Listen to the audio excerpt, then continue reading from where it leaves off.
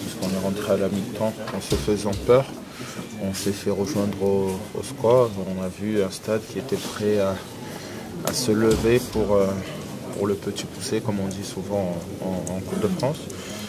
on, a, su, euh, par l'intermédiaire de, de, Clément, reprendre l'avantage avant cette, euh, cette mi-temps. Et puis bah, après, je pense qu'ils avaient fait tellement d'efforts en première période qu'ils ont accusé le coup. Mais euh, je pense que ils n'ont ils ont pas à rougir euh, de leur performance. Ils ont fait une très belle partie.